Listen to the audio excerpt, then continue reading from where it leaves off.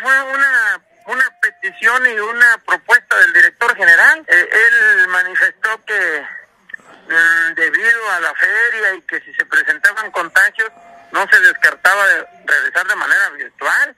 Él fue el que lo dijo. Yo yo solo eh, comenté que era una una postura eh, y que no se presentara lo que se presentó en enero.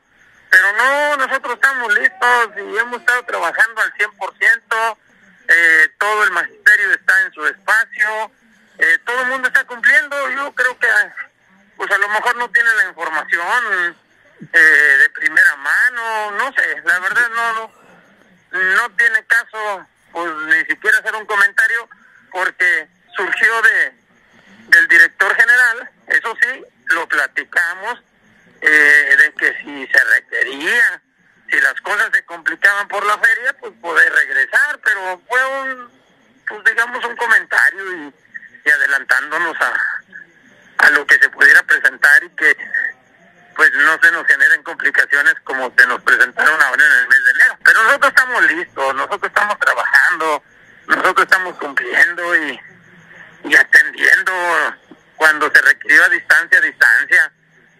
estamos al 100 de manera presencial, entonces pues no, no, no sé de dónde vienen, hay sus preocupaciones. Incongruencia, pues no, no, no, no, nosotros somos congruentes. Todo dependerá más bien de lo que dicte el sector salud. Así es, así es. Lo que determinen las autoridades federales o locales, eso se estará haciendo, no depende de nosotros.